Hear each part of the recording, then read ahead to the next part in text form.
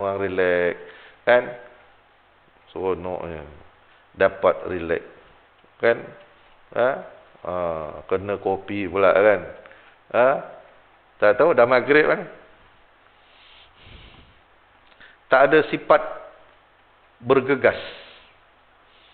Apa apa Allah Taala sebut? Fastabiqul khairat. Bersegeralah melakukan kebaikan. Maghrib dah. Tak bergegas sifat bergegas untuk kebaikan tu tadi. Ya relax. Kan masya-Allah. Ya? Ah ya? Awak tuan-tuan ya? Bawa kereta pun relax-relax sambil isap rokok. Minta maaf tuan-tuan bukan lelaki perempuan.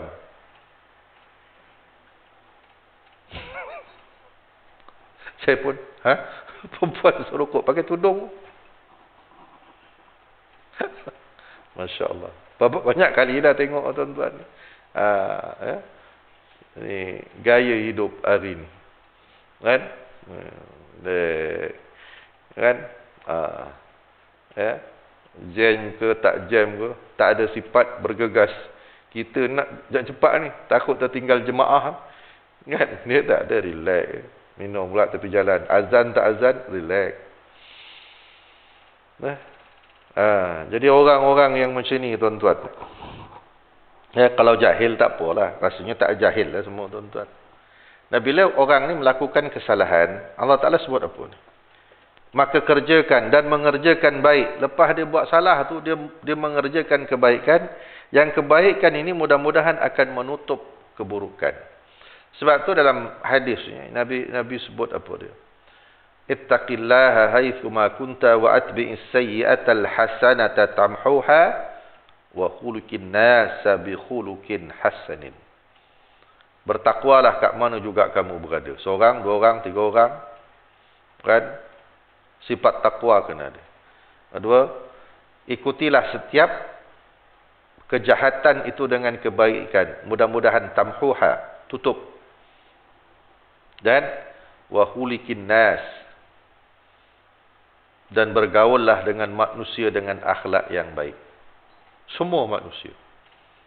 Eh? Eh, kata ulama dalam syarah hadis ni, semua manusia. Eh? Khuzil afwa.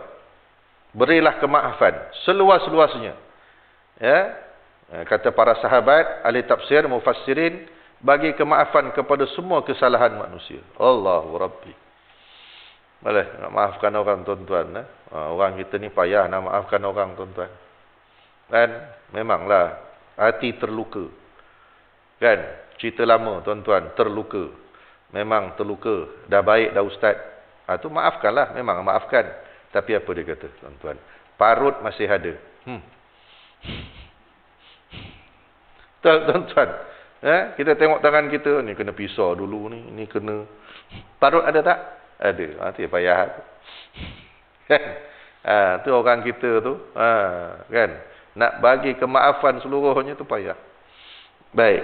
Jadi, Allah Ta'ala kata apa? Sudah tentu Tuhanmu itu maha pengampun lagi maha penyayang. Ya? Allah Ta'ala, dia akan minta, kau minta ampun, aku tak heran lah. Tak kisah. Besar mana dosa engkau. Kau jangan syirik kepada aku. Hai anak Adam. Kau datang kepada aku dengan dosa sebesar bumi. Sebesar itu juga keampunan aku. Kau datang kepada aku dengan dosa setinggi langit. Setinggi itu juga keampunan aku. Dan aku tak kisah.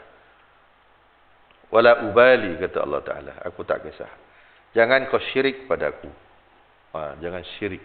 Ya. Ha, ya. Bukan maknanya boleh buat dosa tak.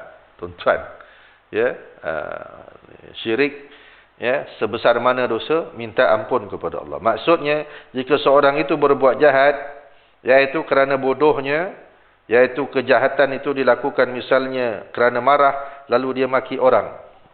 Ya ya lalu bersangatan ya kejahatannya hingga dia apa dia?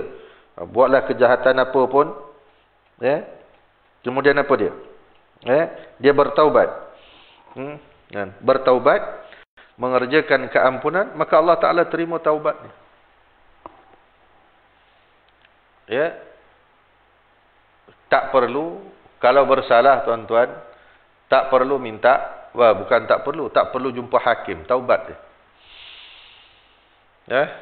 Ya. Ada perempuan datang jumpa nabi. Ya dan Ma'is ada seorang lelaki datang jumpa Nabi mengaku dia berzina. Nabi kata kau balik balik. Esok lusa datang lagi. Nabi suruh dia balik, balik. Datang kali ketiga. Eh, balik. Lepas tu apa Nabi buat? Nabi hantar orang cek dekat kampung dia. Dia ni ada masalah mental ke tidak? Atau kelainan ada berpikiran macam pelik-pelik. Uh, yang menyiasat tu kata tak ada. Dia ada perkumpul maklumat, dia ni memang waras. Kali keempat datang jumpa Nabi. Nabi kata suruh balik. Kemudian Nabi hantar sekali lagi. Ada tak dia buat kerja ni pelik-pelik? Ya? Dia pernah sakit ke apa ke, sawan ke apa ke? Tak ada. Mana dia waras. Adakah dia dipaksa ke apa? Ha, tu. Berapa kali? Nabi tolak kalau orang tu mengaku. Empat kali. Barulah Nabi hukum. Ha, tuan-tuan. Ha. Kita buat salah dengan Allah diam-diam. Jangan cerita ke orang. Jangan cerita ke orang. Mat, malam tadi aku mabuk. Hmm, habis. Kau mabuk apa? Mabuk ketum. Habis. Tak payah. Tuan. Satu lagi kes perempuan. Al-Ghamidiyah. Perempuan datang jumpa. Ya Rasulullah aku berzina. Aku ah, baliklah dulu. Nabi suruh dia balik. Balik. Mana boleh je dia tak datang lagi. Pergi bertaubat kepada Allah. Selesai. Datang jumpa Nabi. Ya Rasulullah. Dengan sebab zina tu aku mengandung. Nabi kata apa? Kau balik sehingga engkau apa dia melahirkan anak. Berapa? Berapa bulan? Sembilan bulan. Telah setahun kan? Lepas tu lama tu datang pula jumpa Nabi bawa anak. Ya Rasulullah ini anak hasil daripada mengandung aku dulu. Nabi kata apa? Kau balik selesaikan susunya susuannya berapa lama susuan? Dua tahun. Dah tiga tahun. Datang Datang bawa baby tadi tu. Baby itu tengah makan makanan lain.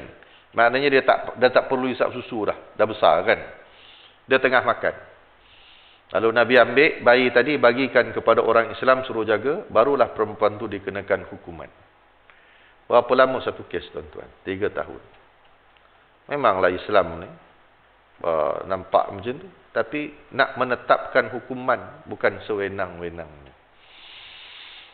Eh, bukan sewenang-wenangnya boleh jatuh hukuman. Hukuman dia memang keras tapi cara pembuktiannya juga rumit dan sulit. Bukan senang-senang nak menjatuhkan hukuman. Itulah keadilan Islam, adalatul Islam. Uh, tak kala Rustum jumpa Amir bin Rubai yang bawa surat Nabi.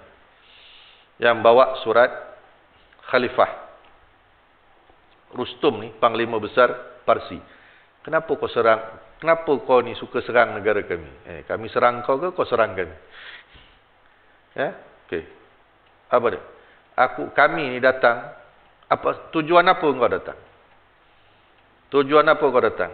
Kami nak membebaskan perhambaan sesama manusia kepada penyembahan kepada Allah. Ha? Dan nak membebaskan kekejaman manusia kepada keadilan Islam. Betul? Dia kata, kami nak bawa manusia daripada sempitnya dunia kepada luasnya syurga. Tak kata apa Rustum.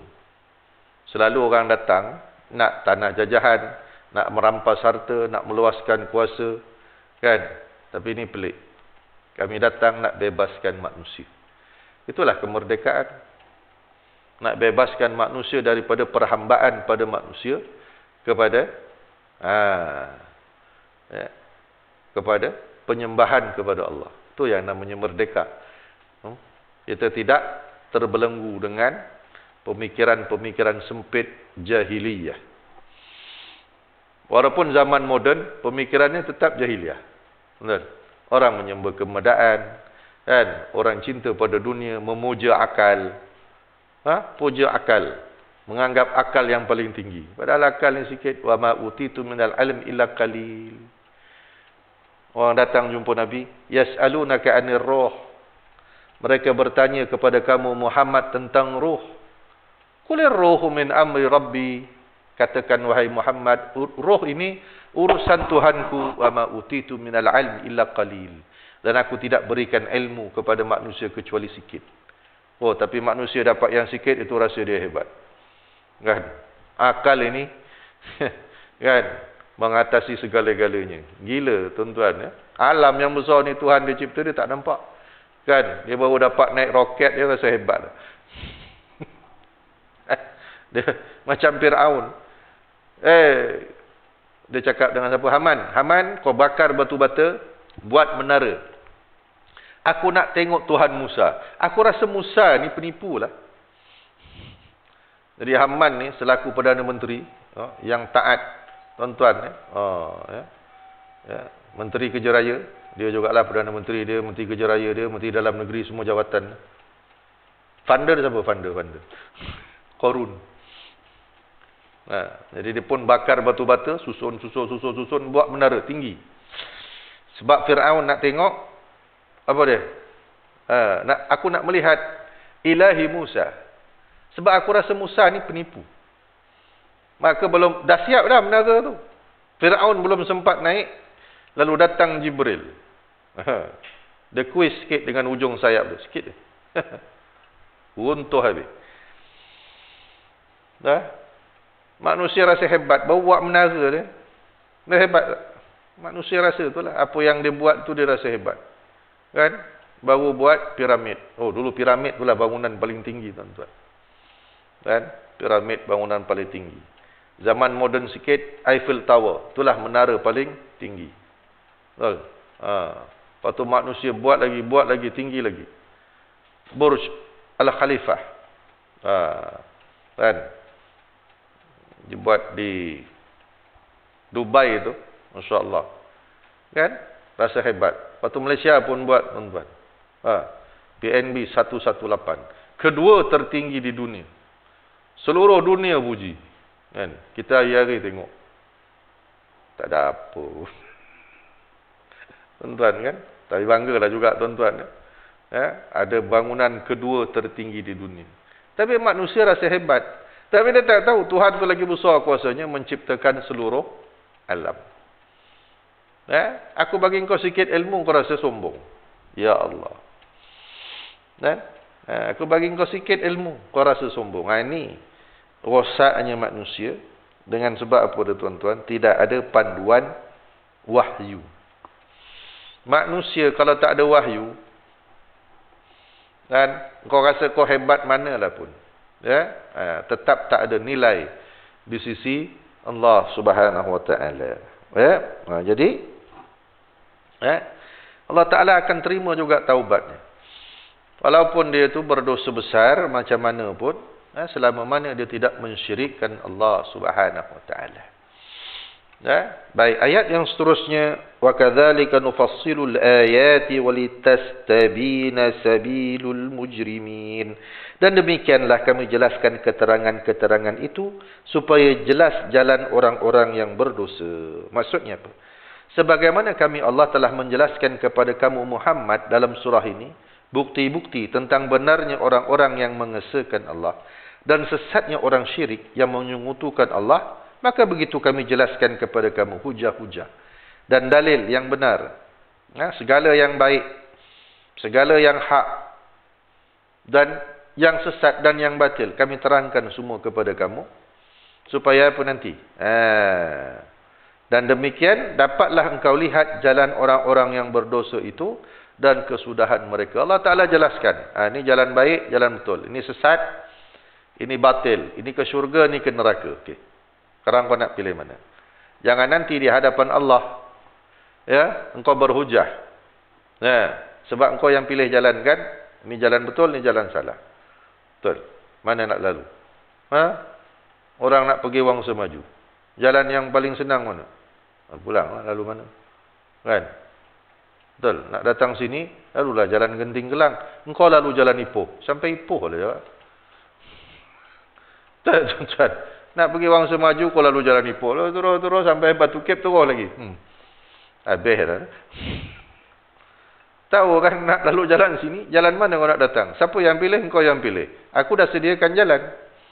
Kan? Ha, tapi jangan komplain. إيه Baik.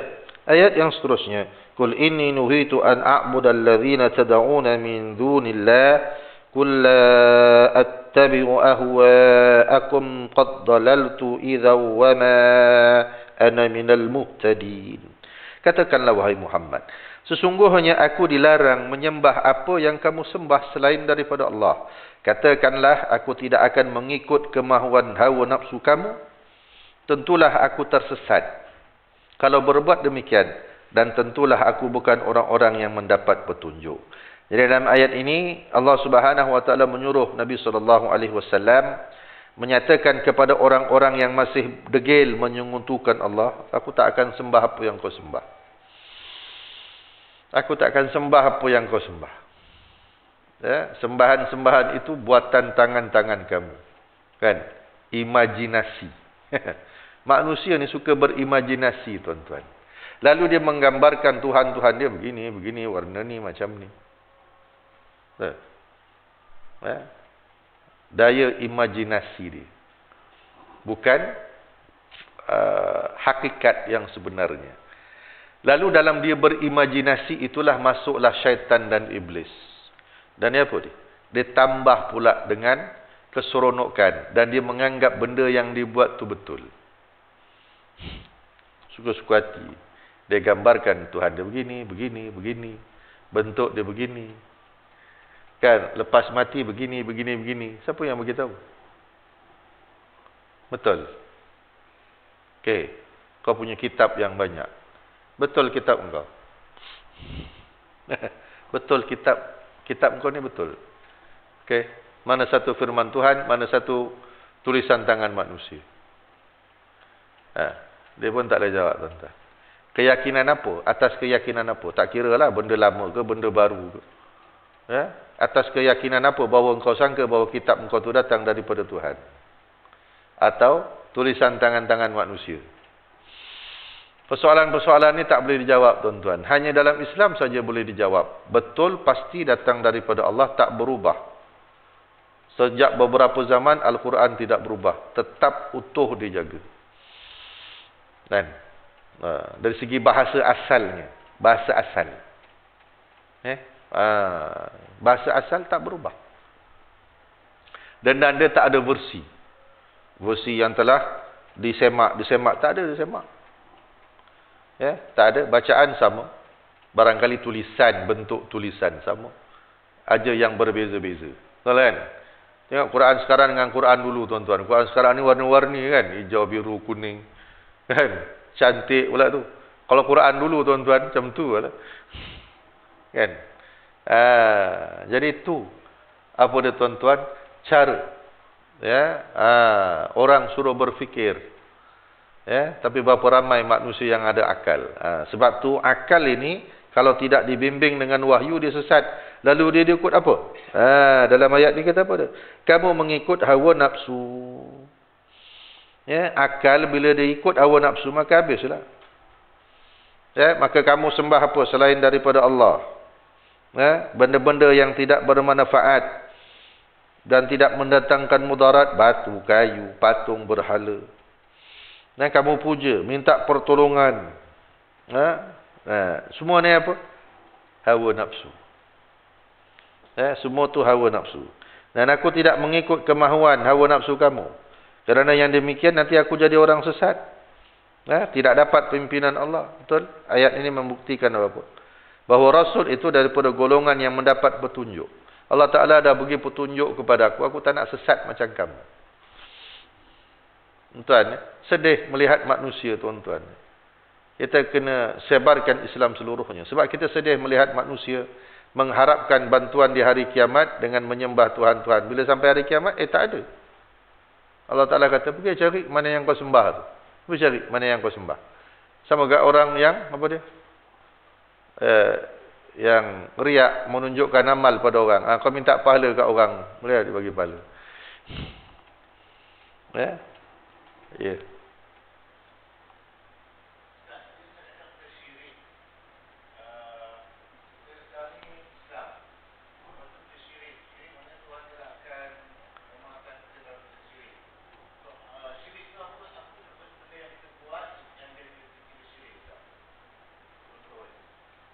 Okey. Apa yang menyebabkan kita jadi syirik? Nah, syirik ni ada dua, tuan-tuan. Syirik khafi dan syirik jali. Syirik yang jelasnya syirik. Apa dia? Minta pertolongan selain daripada Allah. Itu syirik. Menyamakan Allah dengan makhluk. Kan? Itu syirik. Ya. Nak minta kepada Allah. Sebab Allah tempat meminta. Bila kita minta selain daripada Allah, jin, syaitan, itu syirik. Kan?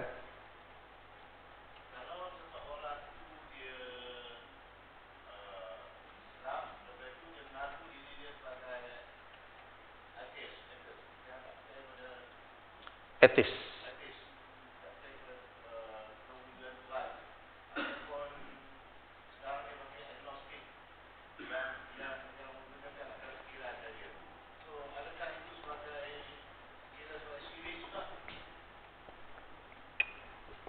Itu lebih berat daripada syirik.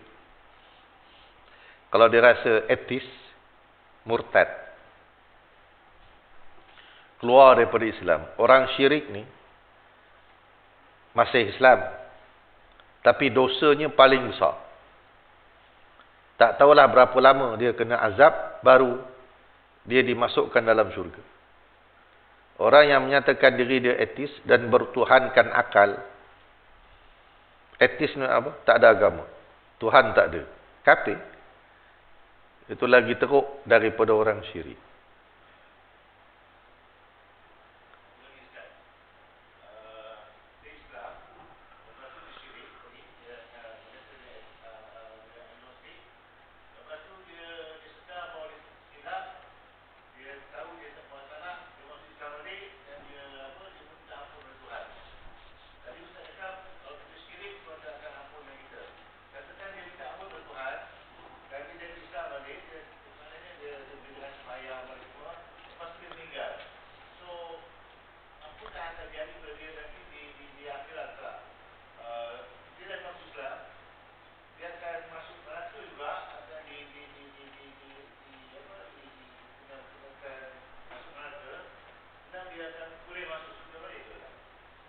Baik. Yang syurga neraka tu hak Allah Subhanahu Wa Taala. Eh? Eh? Syurga neraka hak Allah. Apa kewajipan orang yang berdosa? Dia kena bertaubat. Dia kena minta ampun. Apa jadi lepas tu? Tu hak Allah. Ada orang dosa besar? Masih diampunkan oleh Allah Ta'ala. Ada orang buat dosa kecil? Kan? Sekadar bunuh kucing masuk neraka. Ada orang bunuh seratus orang diampunkan oleh Allah Ta'ala. Apa nak tunjuk kat situ tuan-tuan? Hak mutlak pengadilan milik Allah. Eh milik Allah satu. Tu hak hak mutlak Allah. Manusia tak boleh campur tak ada campur tangan. Tapi Allah Ta'ala apa dia? Selalu Allah Ta'ala sebut apa? Aku ni maha adil Aku tak akan menzalimi manusia. Tapi manusia selalu menzalimi diri dia. Kemudian Allah Ta'ala sebut apa? Kataba ala nafsiha rahmah. Aku menetapkan rahmat atas diri aku. Sejauh mana manusia itu dihukum dan sebagainya, itu pertimbangan Allah Subhanahu Wa Ta'ala. Tapi apa kewajipan manusia yang salah masa hidup? Ah, dia kena taubat. Nah, dia syirik, Kena taubat. Tak sempat taubat, payahlah jalan dia. Ha, jalannya payahlah. Susahlah jalan dia. Dia memilih jalan yang salah. Tak sempat taubat. Kalau dia sempat taubat, mudah-mudahan taubatnya diterima oleh Allah Subhanahu Taala. Itu je. Jahat manusia ni bila berdosa, minta ampun. Urusan dengan manusia, selesaikan. Kan? Ha. Jangan khianat, jangan tipu manusia, jangan ambil harta manusia. Ya. Hati. Selain daripada syirik yang menyangkut manusia pada tuan Duniawi urusan harta. Ada nabi dapat seorang hamba. Ya, belum belum sampai Madinah lagi. Sampai tengah jalan nabi berhenti. Uh, hamba tadi tu, tawanan tadi tu. Ikut sertalah perang. Mati. Tiba-tiba ada orang panah dia mati. Sahabat kata Allahu Akbar, mati ni masuk syurga. Ha, Nabi kata apa? Tak, dia masuk neraka. Mana boleh masuk neraka? Rasulullah dia mati dalam syahid. Kita dalam perjalanan balik daripada jihad masih dalam ya apa masa berjihad tak cek apa dia ambil tuan-tuan. Tali kasut. Orang mati syahid curi tali kasut tak masuk syurga. Masya Allah. Kan? Eh bukan. Dia bukan ambil tali kasut. Selimut tak silap saya. Kalau tak silap saya. Selimut yang belum dibagi-bagikan. Dia dah ambil dulu. Masya Allah. Kan? Berat tuan-tuan. Ha? Ha. Yang, ber, yang berkaitan dengan harta manusia ni. Jangan khianat, jangan tipu. Eh, jangan khianat, jangan tipu. Memang tak selamat. Ya. Ha, sikit pun, sikit ke banyak ke. Itu satu. Jangan ambil harta manusia. Ibadat jangan tak ikhlas. Siapa dulu masuk neraka kata Nabi? Awal-awal masuk neraka sebelum penyembah berhala dan orang kafir masuk. Orang yang mati syahid. Sebab apa dia? Tak ikhlas sebab dia nak title pahlawan. Allah Taala kata kau dah dapat kan title tu. Darjat tu, okey? Campak dalam neraka. Siapa dia? Orang mati syahid. Ya Allah. Okey, yang kedua, orang yang ya sedekah. Tapi nak dapat title dermawan. Yang kedua, yang ketiga, orang yang baca Al-Quran. Bahaya tuan-tuan. Ya, kalau tak ada keikhlasan. Ha? Jadi ni banyak orang tak faham tuan-tuan. Ya. Tak mak ada jahil ke tak belajar ke. Ha, tu masing-masing. Kan? Ha. Peluang belajar ada. Peluang belajar ada. Tapi tak nak belajar. Allah Ta'ala tanya. Aku bagi harta kau buat apa? Aku bagi ni Aku bagi kekayaan, kau buat apa? Aku bagi kau ilmu, kau buat apa? Semua Allah Ta'ala tanya. Woi, payah tuan-tuan. Ya? Jadi sebelum habis kira bicara manusia di hadapan Allah, ya? selesaikanlah urusan kita kat dunia. Jadi jangan banyak kira bicara. Tak, makin banyak kira bicara di hadapan Allah, makin banyak yang kena mengaku. kan? Eh? Ya Allah. Payah. Kalaulah manusia tahu payahnya. Ya. Apa dia? Tuan-tuan ya, menghadap Allah Subhanahu Wa Taala. Semua aku tanya kata Allah kata Nabi semua akan semua akan ditanya. Wa kullukum ra'in wa kullukum mas'ulun an ra'iyatihi. Semua kamu adalah pemimpin dan semua kamu akan ditanya apa yang kamu pimpin. Allahu Rabbi. Kan? Ha, tak berganjak kaki anak Adam. Sehingga ditanya. Mana dia habiskan umurnya. Mana dia habiskan apa tu masanya. Kan? Daripada mana hartanya dia dapat dan ke mana dia belanjakan. Allah banyak kan. Payah nak tanya kan. Tuan-tuan kan. Ha, jadi bersedia je dengan jawapan. Kalau tak dapat jawab, Allah wa Rabbi. Masalah besar. Jadi itu nilai integriti. Kan? Ha, apalagi orang yang syirik. Nah, syirik ni minta ampun pada Allah. Taubat minta ampun. Kalau sempat. Kalau tak sempat tuan-tuan. Ya Allah. Kadang-kadang orang kita ni. Tahu dah syirik tu dosa besar. Buat juga. Betul tuan-tuan. Sebab tu saya pelik tuan-tuan. Ha? Islam lama dah. Bomo, pawang bomo tak habis-habis pula tuan-tuan. Kan? Oh. Ada pula title pawang diraja. Huh. Lagi karut. Tak maaf lah, tuan-tuan. Ada title lagi. Lalu bila nak habis? Lalu bila nak habis tuan-tuan syirik ni? Tak habis-habis eh? Kan? Ha? Tambah pula banyak pula duit dapat kan? Ya, untuk pawang semua pergi ke bandar. Hmm. Kampung dapat lima ringgit ustaz eh. Kan? Duduk bandar ni kan sekali datang lima ratus Kan? Sehari seorang cukup dah. Ha? Kalah grade 54 tuan-tuan. Sebab tu ramai jadi bomo. Eh, udahlah tuan-tuan merepek banyak saya. Sambunglah pula. Depan. Ya, itu dia. Pelajaran kita hari ini. Mudah-mudahan ada kebaikan untuk kita. InsyaAllah. أعوذ بالله من الشيطان الرجيم بسم الله الرحمن الرحيم اللهم أغننا بالعلم وذينا بالهلم وأكرمنا بالتقوى وجملنا بالعافية ربنا آتنا في الدنيا حسنة وفي الآخرة حسنة وقنا عذاب النار صلى الله على سيدنا محمد وعلى آله وصحبه أجمعين والحمد لله رب العالمين آمين والله تعالى أعلم السلام عليكم ورحمة الله